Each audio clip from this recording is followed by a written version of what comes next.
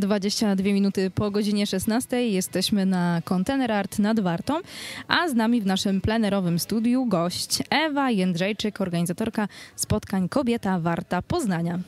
Laureaci Grammy, multiplatynowa rockowa formacja Paramore przerywa czteroletnią przerwę i powraca z nowym albumem. Ich poprzedni krążek zdobył szczyty list Billboardu, a do sieci trafiła ich singlowa piosenka Hard Times.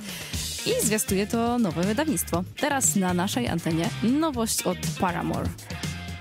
W ten długi weekend akurat wszystko nam się tak w jedną całość ładnie łączy, bo będzie festiwal dobrego smaku, będą integracje, więc międzynarodowo, kolorowo można się właśnie zintegrować z dobrym smakiem. No, w końcu nie tylko muzyka łagodzi i obyczaje, ale i też przecież jedzenie i spędzanie czasu przy wspólnym stole.